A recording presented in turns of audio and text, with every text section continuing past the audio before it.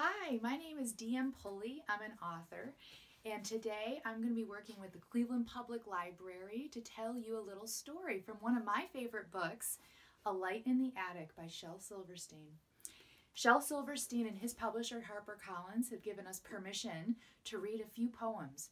And I don't know about you, but these poems are a little different than some of the other ones you might have heard about. The first poem, A Light in the Attic, that the book is titled for. A light in the attic. There's a light on in the attic. Though the house is dark and shuttered, I can see a flickering flutter, and I know what it's about. There's a light on in the attic.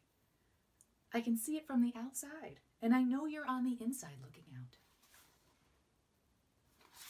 One of my favorite things in school was when my kindergarten teacher, Mrs. Maxon, would read us from Shel Silverstein's poems like this one Messy Room. Whosever room this is should be ashamed. His underwear is hanging on the lamp. His raincoat is there in the overstuffed chair, and the chair is becoming quite mucky and damp. His workbook is wedged in the window. His sweater's been thrown to the floor. His scarf and one ski are beneath the TV, and his pants have been carelessly hung on the door. His books are all jammed in the closet. His vest has been left in the hall. A lizard named Ed is asleep in his bed, and his smelly old stock has been stuck to the wall. Whoever's room this is should be ashamed. Donald or Robert or Willie or. Huh? You say this is mine? Oh dear, I knew it looked familiar.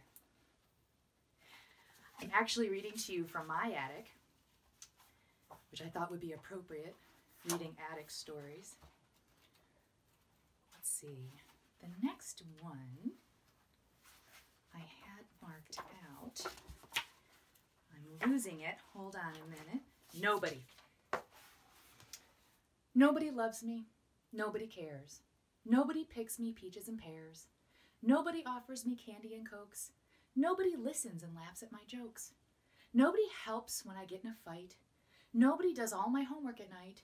Nobody misses me. Nobody cries. Nobody thinks I'm a wonderful guy.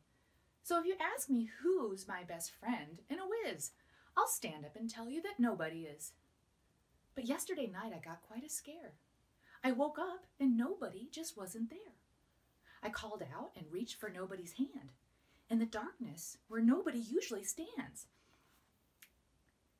Then I poked through the house in each cranny and nook, but I found somebody each place that I looked. I searched till I'm tired, and now with the dawn, there's no doubt about it. Nobody's gone. I love that idea of a, of a missing imaginary friend. This one's a little spooky, and I like spooky stories. I write mysteries and thrillers. Skin Stealer. This evening I, I unzipped my skin and carefully unscrewed my head, exactly as I always do when I prepare myself for bed.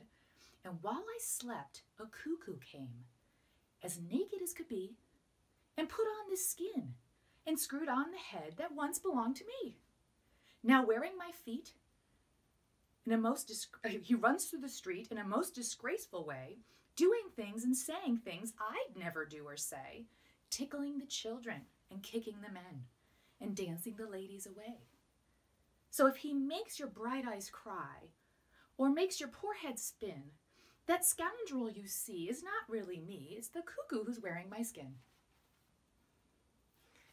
I don't know where Shel Silverstein comes up with these fantastic ideas, but I've always loved everything he's written.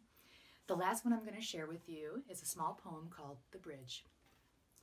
This bridge will only take you halfway there, to those mysterious lands you long to see, through gypsy camps and swirling Arab fairs, and moonlit woods where unicorns run free.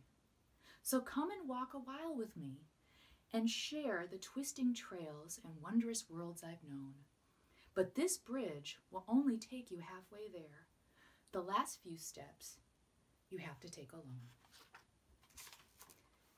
So I'd like to thank the Cleveland Public Library for sponsoring these author readings, along with Shel Silverstein and Harper, HarperCollins books. And I hope that you and your family are staying safe and well. Keep reading. Thanks.